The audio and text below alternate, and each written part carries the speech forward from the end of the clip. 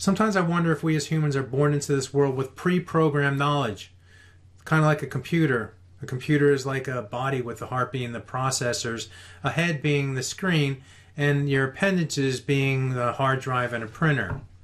Then there's the software, pre programmed stuff. Windows is a big thing, but there's other software that shows us how to connect to the internet and a calendar, an alarm, and our browsers like Google Chrome or Internet Explorer, and a media player and virus protection and some version of Microsoft Office. All is often pre programmed in the body, in the computer.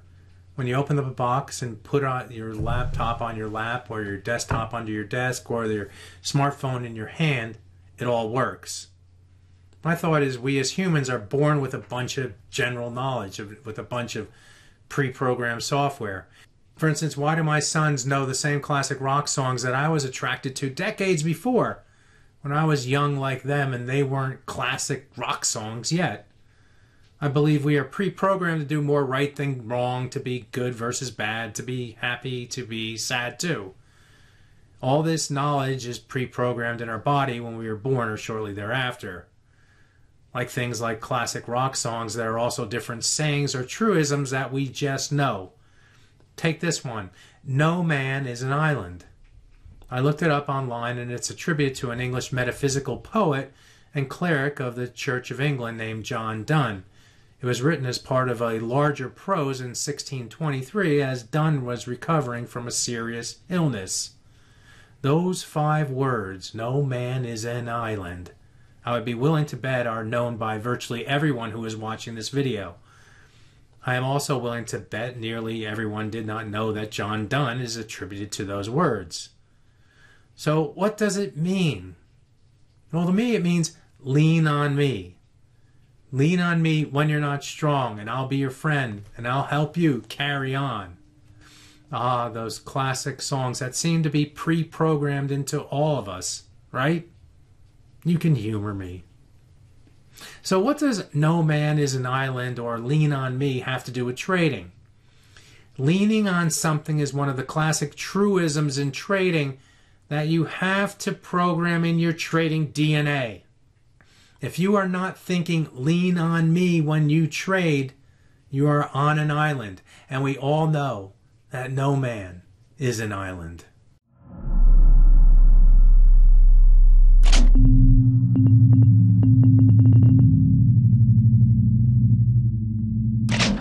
When I get up in the morning and turn on my computer and load up my charts, the first thing that comes to my mind when looking at the chart is one, where are we going to lean? And two, where are most of my friends going to be hanging out today? Leaning comes against a technical level above and below the current price. My friends, uh, where they're going to hang out refers to the market. When I write a post on Forex Live or even on Twitter, I will put the market in quotations to signify it is a collection of everyone around the world who trades a particular currency pair or stock indice or commodity or digital currency. Most of my friends or the market hang out at great places where risk is low and the potential exists for more reward. I should say, most of my friends who make money do that paralleling to our lives, we often go to restaurants that have good customer reviews, that are clean, that have a crowd, that have a buzz, and we'll even wait to be seated because we know we are likely to be rewarded with good food and good service. Now, we don't often go to restaurants that do not have good reviews or don't have a buzz, that, is, that are dirty and unfriendly because we stand the risk of not being rewarded with good food and service as well in trading, I want to lean against great technical levels because that is where the crowds, where all my friends are gathering, where there will be a buzz that will literally cause the price to react. If I know the price will react here, that is good for me as a trader. Why? Because I get instant feedback. If it is positive feedback, that gives me confidence. It makes me feel happy because I am with my friends.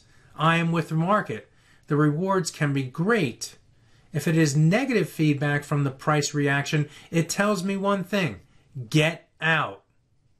Something is just not right with my view.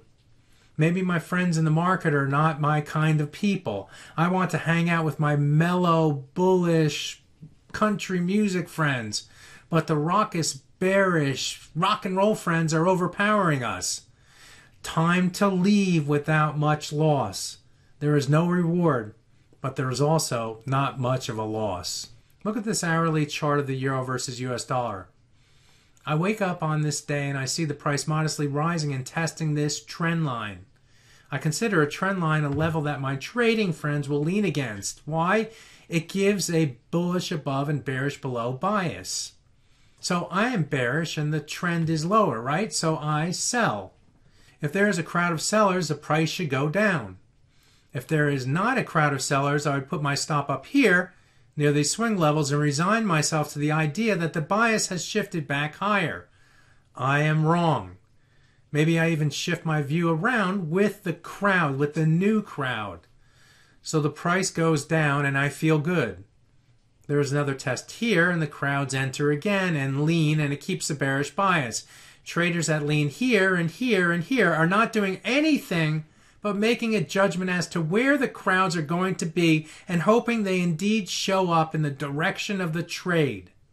Honestly, you don't even need a fundamental reason, although the story is likely bearish for the pair. The thing about trading is friendships don't last forever. There will come a time when your country music friends, i.e., the Bears, get swapped out for the rock and roll friends, i.e., the Bulls. When is enough enough?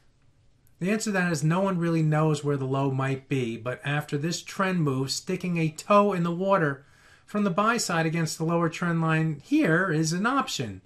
Again, you are leaning but hoping for a different tune to be played. So I might wake up, look at the chart, and say the lower trend line was sniffed last night but not reached. The price is short of this topside trend line, but if that is broken to the upside, we should see sellers turn to buyers, right? If I am even more aggressive, I may even trade in this area and lead against the prior day low. They are a little more wild trades because you are getting in against a trend, are looking to pick a bottom, anticipating a change in the market tone in the market bias.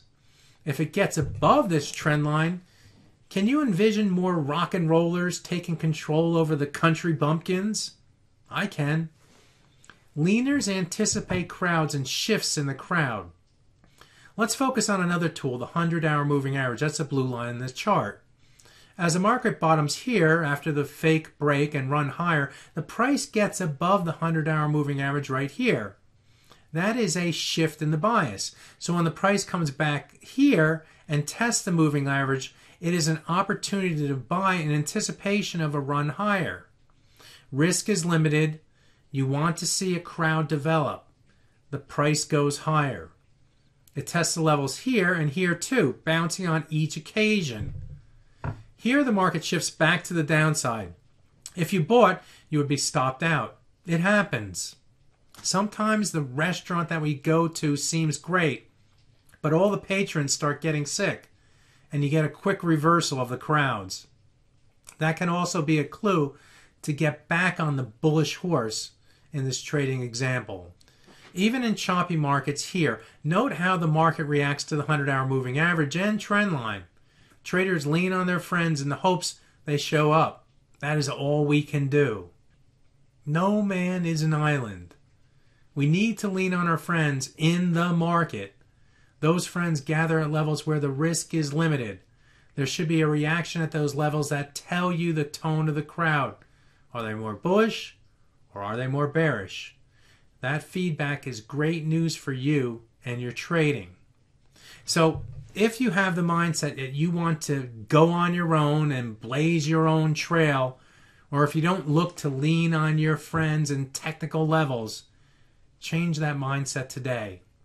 You will automatically be a better trader because no man is an island. If you like this video, just click on the thumbs up. It is important to me and apparently to YouTube as well. If you don't like it, click the thumbs down. It is your vote. Exercise that right to vote. Also, put a comment in. Great stuff, loved it, or something more or less. I'm not going to spam you, but your feedback is valuable. My name is Greg Michalowski. Good fortune with your trading. In the words of another classic song programmed in our minds, you can get by with a little help from your friends.